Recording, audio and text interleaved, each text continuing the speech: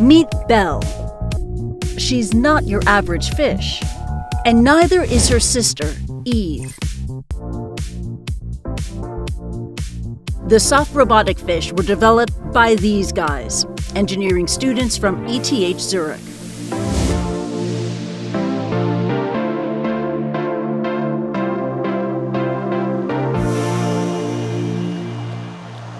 Lake Zurich may be some 300 kilometers from the sea, but it's a perfect testing ground for Dennis Baumann and his Surf eDNA team.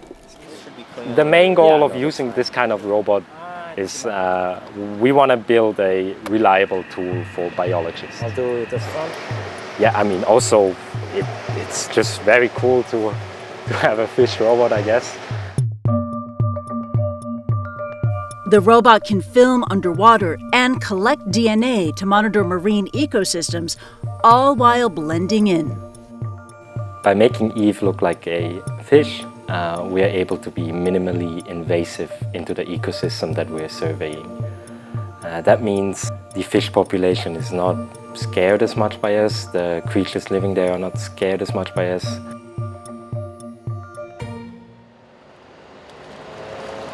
Today, the team are jumping in to test Eve's navigation. It's working quite well right now. You could say this is autonomous, maybe a bit like your home robot, your home vacuum cleaner robot. So for now, we're just quite happy with uh, if we can see that the fish can actually move around obstacles, uh, avoid any collisions basically. Eve's fluid swimming motion is thanks to internal pumps hidden in her silicon fin, moving the tail from side to side.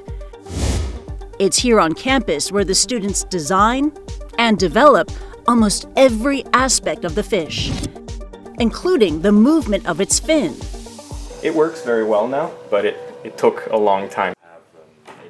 The students took inspiration for the project from their professor, Robert Katzschmann, who developed a small robotic fish called SoFi when he was a student at MIT. I think there is a bright future ahead of us where we will see robots that are not built in the way that we think of robots today. And that's what we're trying to do with this project. The team's robots can also collect DNA samples of the marine environment, known as eDNA.